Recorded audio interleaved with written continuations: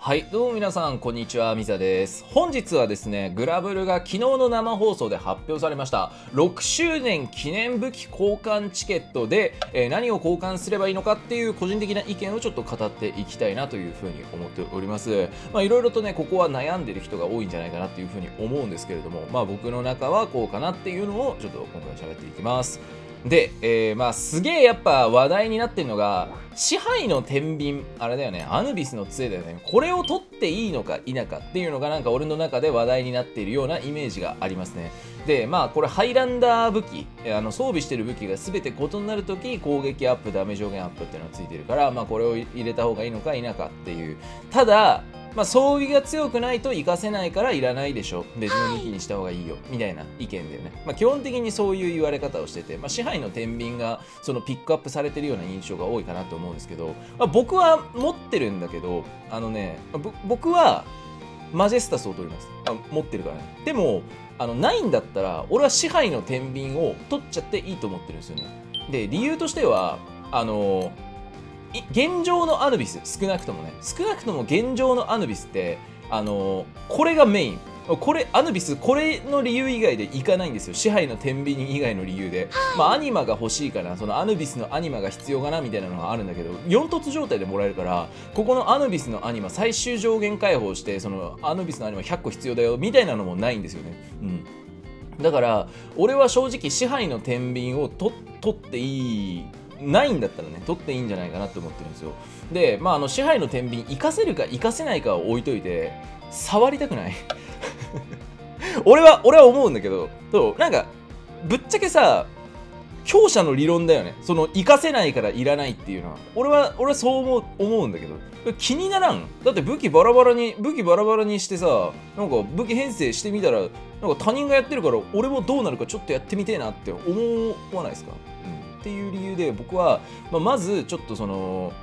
自分の場合だったらどうなるのか気になるなっていう人は俺は支配の点にとってもいいと思ってるしあのーアヌビスを、まあ、少なくとも現状、まあ、今後エピックウェポンおそらく追加されていくんだろうけど、まあ、少なくとも今年に追加されるかは分かんないけどね、まあ、今後あのエピックウェポン追加されることを考えてもまあそれまでは、えー、アヌビスをいかなくてよくなる。でアヌビスって結構素材が出てくるアイテムがちょっと微妙なんですよね。そう。あの結局アヌビスってそこ以外の理由で行くことがないから、うん。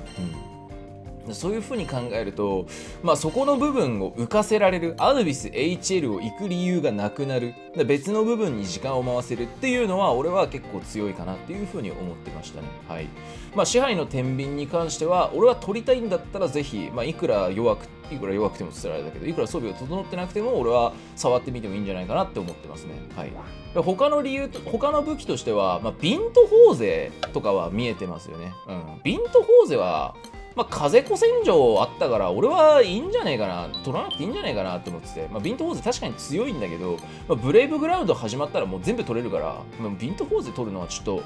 なんかもったいなさそうに見えちゃうね、まあ、ブレイブグラウンドの武器って割とポンポン出るんですよね。だからまあちょっと今ないからっていう理由でビントホーゼ取るのは俺は少しだけもったいないかな。もう実際来たら速攻終わるわけっていう感じだな。労力が安い。っていうイメージ。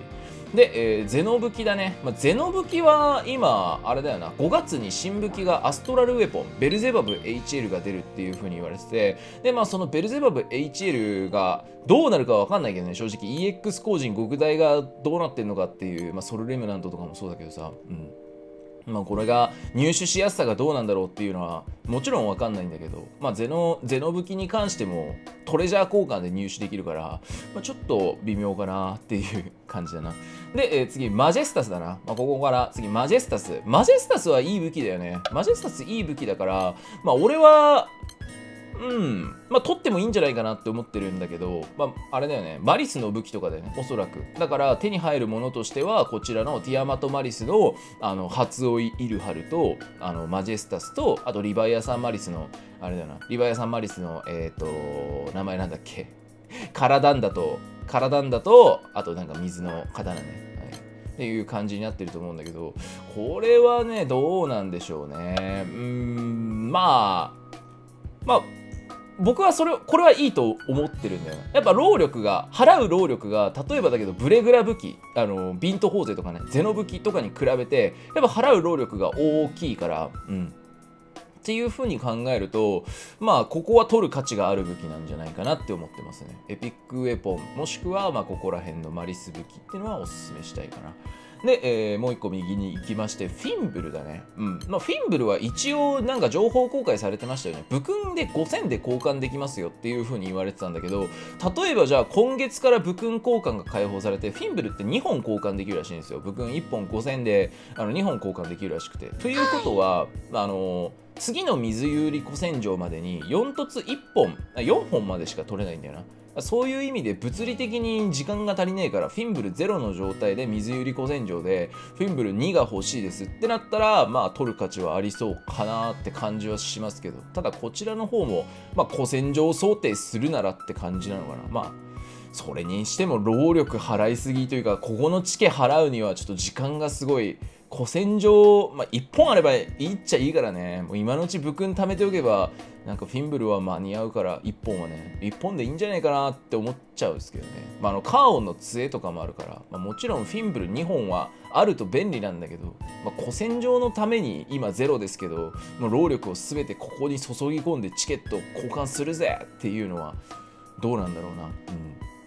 っていう感じはある、はい。まあ、物理的に間に合わないのでそう言われると物理的に間に合うようになるのはフィンブルなんだろうなっていうような感じですね、まあ、他のケルベロスオーダーとか現状使われてないのであんまり使わないのかなっていうような感じです。で最後マグナツ武器だな。まあマグナツ武器は正直丸いっちゃ丸いよな、まあ、1本2本とか僕も前回のあの5周年チケットですね。僕も前回の5周年チケットはニーベルンホルンを交換しましたね。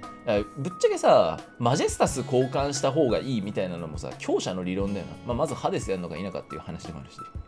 まあ、そういう意味でマグナ2を交換してさっさと強くなってで総合的な時間を時短なんかこう短縮していくためのマグナ2武器交換チケットによってね。っていうのは俺はまあありだと思ってますけどね、うん。まあ、ちょっとなんかやっぱ強者の理論強者の理論が混じり合うと少しねなんか本質がぶれることもまああるとは思うんですけど。はい。まあやっぱねどうなんだろうな。俺はでも俺は一つ言いたいのは支配の天秤はそれ持ってても扱いこなせないからやめとけっていうのには俺はノーを言いたいんだよねやっぱ気になるよね。それやっぱ自分自分が気になっちゃうから俺は正直そういう意味では支配の天秤は俺は押してもやりてえならやればやればって思っちゃう。うん。ですね。ただまあここまで言っといてあれだけどぶっちゃけ記念武器交換チケットって、まあ、その速攻強くなりてみたいな本当に必要な時に取っとくっていうのも俺はありだと思ってて例えばだけど支配の天秤アヌビスの自発だけ済ませといてアヌビスの自発マリスの自発だけ済ませといてでそこからまあ足りねえなどうしても必要になっちまったなってなった時に、えー、交換チケットを使ってで交換するのが一番丸いというか頭いい状況なわけですよ。うんだそういうふうに考えたら、まあ、待つってのもマジで結局結局待つってのもまたタクだと思ってるかな。はい。まあ速攻強くなりたい。装備状況によるけど速攻強くなりてんだったら、まあ、マグナ2だね。で労力に対してのリターンが大きいなって感じるのが、えー、まあ、ここら辺のエピックウェポンもしくはマリスのウェポンですね、うん。まあ、特にアヌビスがなくなるんで支配の天秤は僕はいいかなと思ってて。まあ他の武器はちょっと労力というか実際イベント始まっちまえば速攻集まる武器たちだから俺はあんまりなんかいいかななんかあんまりやんなくてもいいかなって思っちゃうかなっていう感じでしたねはいということで、えー、まあ、6周年武器交換チケットに対する俺の感想と、えー、おすすめの話についてでございました。まあ、いろいろと悩むと思うんですけれども、もちろんね、えー、今の話を参考にしてもらえると、もしかしたらいいグラブルライフが進めるかもしれません。そんな感じでした。それじゃあ、またお会いしましょう。じゃあね、バイバイ。